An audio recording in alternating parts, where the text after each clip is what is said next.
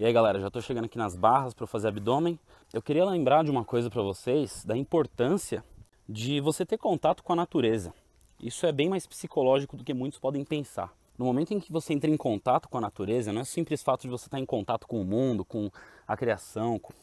Quando você fica em um lugar pacífico como esses, por exemplo, super arborizado, um lugar totalmente delicioso, agradável para é, a gente ficar em paz, você consegue se livrar de ansiedade.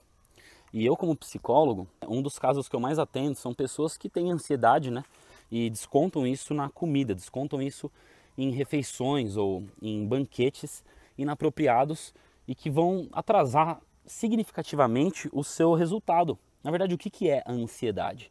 É uma preocupação desenvolvida com a experiência do passado e a gente tem medo dessas coisas reacontecerem no futuro.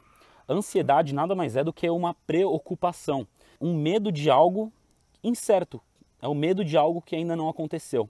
E esse medo, essa ansiedade, ela pode ser manifestada de várias formas diferentes. O Eckhart Tolle, por exemplo, ele fala que o medo nada mais é do que o medo do ego morrer. Isso pode ser exemplificado num simples debate, um argumento. A necessidade de você estar certo em um argumento já mostra uma certa insegurança e o ego, ele fica com medo de morrer nesse momento. Porque se você perde um argumento, você perdeu a credibilidade. Isso se remete a vários outros princípios instintivos. Então, ficar no meio da natureza, ele vai ser muito benéfico, porque você consegue sair do futuro, você tem que sair do passado e você tem que viver o momento presente. Quando você se coloca no momento presente e entra em concentração com a sua respiração, entra em concentração com cada passo que você está dando, você consegue se livrar do futuro, se livrar do passado e aí sim você vive exatamente a situação que você está. Por exemplo, se você está passando um momento de frustração, o sofrimento ele só existe na sua cabeça, porque existem dois tipos de conduta que a gente pode ter perante um estímulo, perante é, um acontecimento. A gente vê o lado bom ou a gente vê o lado ruim. Muitas pessoas veem o lado ruim e ao ver o lado ruim, você aceitou mentalmente que o que está acontecendo não é benéfico para você. E a vida não é sempre positiva, a vida não é sempre coisas boas. Mas se você converter o seu estado mental para aceitar o seu momento presente, você indiretamente consegue curar qualquer sofrimento. O Jim Carrey fala muito isso nas palestras dele também. Muitas pessoas, por exemplo, fazem dieta. E essas dietas, que é uma coisa que eu não acredito, nunca vou acreditar em dietas na minha vida. Dieta não funciona, o que funciona é reeducação alimentar dietas têm prazo de validade e muitas pessoas não conseguem seguir a dieta justamente porque cada dia é uma luta que a pessoa tem que fazer, cada dia é um, é um sofrimento que a pessoa, ah, vou ter que comer isso, ou seja, é um meio para um fim, torna cada segundo horrível. Se você pega, por exemplo, o trânsito, muitas pessoas se estressam no trânsito. Eu já fui uma dessas pessoas, mas eu me curei, porque eu aprendi a aceitar o momento presente. Então, vamos supor, se eu for esperar algum amigo e esse amigo atrasa uma hora e ele fala, ai cara, desculpa pela demora. Na verdade, você tem que responder assim: Imagina, cara, eu só estava aqui me curtindo, curtindo minha mente, curtindo meus pensamentos. E é isso que você tem que atingir. Você tem que transformar um momento de ansiedade, um momento de frustração, em algo positivo, porque senão isso vai corroer boa parte da sua vida em vários aspectos, inclusive atrapalhar a conduta alimentar, que é uma coisa extremamente vinculada à psicologia. Não existe nada mais íntimo do que você falar o que outra pessoa deve comer. Então, quando você interfere nisso, você está interferindo no psicológico da pessoa, está interferindo em como a pessoa vive o dia dela. Porque o que, a gente faz no dia? A gente trabalha para quê? Para ter dinheiro para quê? Para sobreviver. Como que a gente sobrevive? Comendo, né? Em termos resumidos, a gente come para sobreviver. A gente consegue sobreviver sem telhado, sem, sem um monte de coisa. Mas sem comida, sem água, não. Então, está na base do ser humano, está na base da sobrevivência. E por ser uma base, a gente acaba tendo impulsos que dão muita importância para esse tipo de coisa. E eu queria só dar essa dica para vocês sobre a natureza, que é uma coisa que eu pratico muito.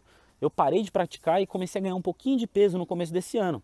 Então o que, que eu fiz? Mudei totalmente voltei a fazer o que eu fazia antes que dava resultados para mim, que é o fato de cuidar da minha saúde também, sentir o prazer da calmaria e do silêncio que existe em lugares como esse. Eu sei que nem todos têm tempo, mas tempo é a gente que faz, tá bom? inclusive isso me remete a treinos. Muitas pessoas usam a justificativa de que não tem tempo para treinar, não tem tempo para fazer exercício físico. Ah, eu acordo às 5 da manhã e vou dormir uma da manhã, Jean. Então, tudo bem, bacana. Eu fiz a faculdade de psicologia, durou 5 anos o curso, agora eu estou cursando técnico em nutrição e eu trabalhei durante minha faculdade. Eu tive dois empregos diferentes, um estágio lá na Paulista, em RH, que eu odiei, e um trabalho em uma loja de produtos naturais, onde eu gerenciei um setor de suplementos e trabalhava ativamente com fitoterápicos. E bom, meu tempo também era reduzido. Mas uma coisa que eu nunca deixei de fazer é me exercitar. Eu nunca deixei isso tornar uma desculpa, porque eu via na minha própria turma, desculpa para vocês da minha turma que estão me vendo, mas é verdade, vocês usavam a faculdade e o trabalho como uma desculpa. Mas ao mesmo tempo, vocês tinham tempo para ficar na Netflix, vocês tinham tempo para ficar vendo série na, na internet, não é? E um capítulo de uma série gira em torno de quê? 40 minutos? É 40 minutos que você poderia estar tá suando. Ah, mas eu não posso pagar a academia, eu não tenho dinheiro. Faz em casa. Eu tô com meu braço machucado, eu não estava afim de ir para um lugar cheio de barulho para estar tá me exercitando, então eu vim num parque. Ah, mas eu não tenho parque perto de mim. Você vê como é infinitas desculpas. O ser humano, ele está sempre querendo o momento perfeito para começar a fazer alguma coisa. E aqui vai um pouquinho de conhecimento para vocês. Não existe momento perfeito. Nunca vai existir. O sucesso ele vem quando você abraça sentindo aquele medo. Isso inclusive aconteceu comigo com o canal no YouTube. Os meus três primeiros vídeos, eles tiveram um espaço aí de meses. Porque eu pensava que minha qualidade não estava boa, eu pensava que eu não tinha uma câmera boa, eu pensava que muitas coisas precisavam ficar em ordem para eu fazer um vídeo. E nessa daí eu perdi um ano. Então, depois que eu aceitei isso e comecei a simplesmente fazer, parar de ligar para esses pequenos problemas que são consertáveis com o tempo, eu apliquei e hoje eu tenho um canal no YouTube, entendeu? Que está crescendo muito, estou ajudando incontáveis pessoas e estou tendo minha fonte de renda por meio dos pacientes que me procuram pelo YouTube também. Então, não vai existir momento perfeito para você mudar a sua vida. Se você quer mudar a sua vida, isso só vai exigir uma coisa, uma decisão sua. Decida, mude, comece hoje, não planeje para amanhã. A gente tem 5 segundos para tomar uma decisão. E depois que a gente recusou essa decisão, isso fica para o acaso. Você já deve saber isso porque você já deve ter passado por isso, assim como eu também já passei. Essa dica que eu queria dar para vocês, espero que ela tenha ajudado, tá bom? Agora eu vou fazer um pouco de exercício de abdômen. Se possível, eu vou filmar. Se não tiver nenhum lugar para eu equilibrar minha câmera, me desculpa, não tenho o que fazer. E é isso aí, pessoal. Muito obrigado por me ouvirem. Espero sempre estar tá ajudando o máximo vocês aqui.